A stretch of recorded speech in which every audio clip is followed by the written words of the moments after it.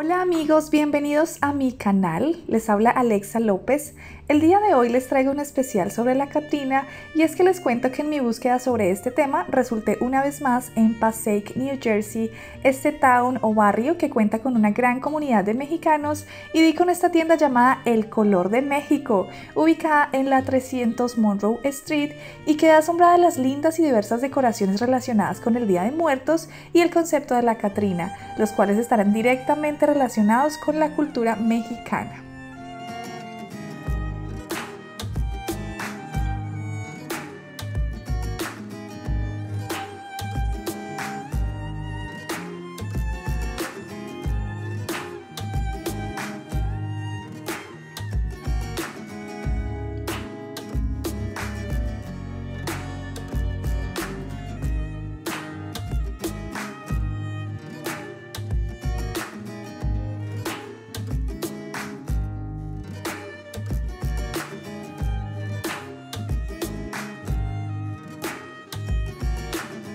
En esta ocasión les traigo este especial de maquillaje de Katrina y es que les cuento que este personaje representativo de la cultura mexicana pretende ilustrar a una mujer esqueleto que usualmente lleva un gran sombrero de estilo francés sobre su calavera debido a que esta es la representación de la muerte.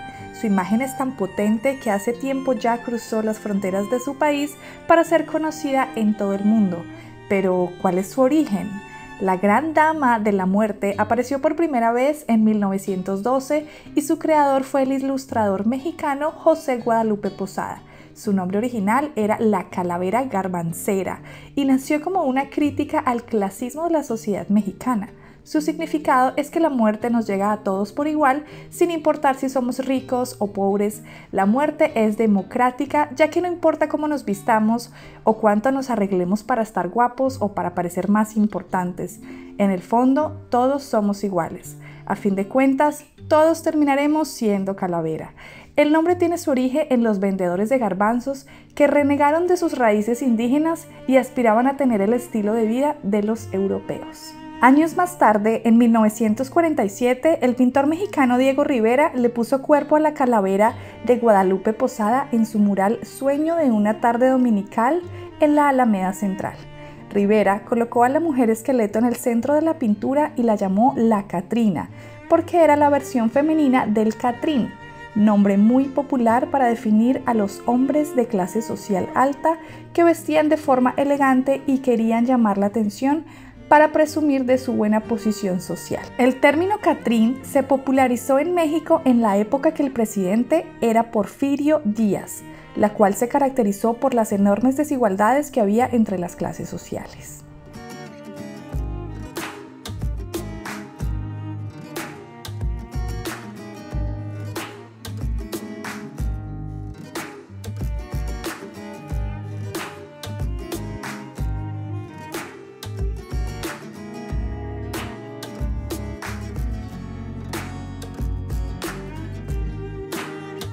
Y esto ha estado súper bonito.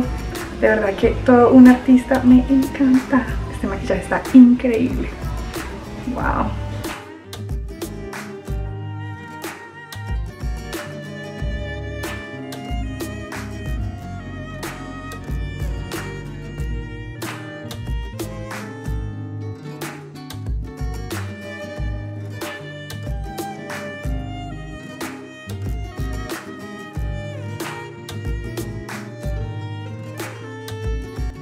amigos, y es que este ha sido el resultado del maquillaje.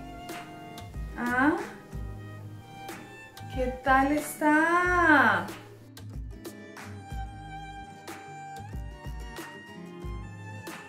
¿Qué opinan? A mí me ha encantado.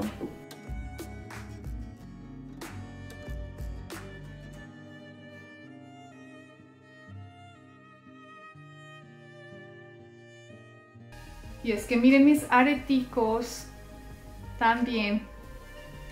Y es que yo me lo tomé en serio. ¿Ustedes qué creyeron? Aquí estoy con mi vestidito. Súper elegante como tiene que ser. Me encanta. Y bueno, debo agradecerle a la persona que me hizo este maquillaje tan hermoso. Y es que ellos son muy profesionales. Anabel Vargas Makeup wow, de verdad que me dejaron asombrada. Son unos artistas impresionantes con mucho talento. No solamente hacen este tipo de maquillaje, sino que también hacen maquillaje corporal. Así que si ustedes se encuentran por acá en Nueva Jersey o en Nueva York, ahí les voy a dejar la información para que los busquen. Realmente son muy, muy talentosos, muy profesionales. Juzguen ustedes, vean ustedes, me ha encantado y aquí quedé transformada como toda una Catrina. De verdad me encanta el concepto detrás de la Catrina. Es una sátira, una burla a las altas sociedades, a las personas que tienen mucho dinero, porque pues bueno, nos deja una enseñanza muy clara y es que no importa de dónde vengas, ni para dónde vayas, ni el dinero que tengas, todos vamos a parar al mismo lado, todos vamos a morirnos y es lo único que tenemos fijo en esta vida, es lo único de lo que estamos seguros. Así que bueno, yo creo que eso nos enseña una vez más a tener los pies en la tierra, porque aquí todos somos iguales, entonces me encanta ese concepto detrás de la Catrina, así que espero que les haya encantado este especial de maquillaje tan hermoso, tan bonito. Y de verdad que lo hago con mucho respeto por la cultura mexicana, por la celebración de Día de Muertos. Y lo hago con mucho amor, con mucha humildad, entonces de verdad que espero que les haya gustado este especial tan espectacular que les hice para el canal con mucho cariño para todos ustedes. Así que cuéntenme qué opinan del maquillaje, qué opinan del especial. Y bueno, como siempre yo tratando por acá de hacer cositas nuevas para el canal. Así que déjenme saber qué opinan. Y es que también tengo por acá esta otra opción de diadema muy floreada con sus calaveritas también me gusta, así que no me quería perder la oportunidad de mostrárselas y que ustedes me contaran. Obviamente esta otra pues viene con el vestido y le da un toque mucho más elegante, pero yo vi esta y también me emocioné y la quise comprar. Así que amigos, de verdad, espero que les haya gustado un montón este video. Recuerden que si quieren apoyarme es muy sencillo, lo único que tienen que hacer es suscribirse a mis dos canales, Alexa López All y Alexa López Col darle like a este video, suscribirse a mis canales y activar la campanita. Es todo lo que necesitan y espero muy pronto poder estar en tierras mexicanas, conociendo más a fondo de toda esta cultura, viéndolo con mis propios ojos. Así es, decretémoslo y que el universo lo escuche para que se pueda realizar. Entonces amigos, esto ha sido todo por esta oportunidad. Espero que hayan disfrutado tanto como yo. Y bueno, gracias, gracias. Ahí estaré leyendo todos sus comentarios. Nos vemos en la próxima. Chaito.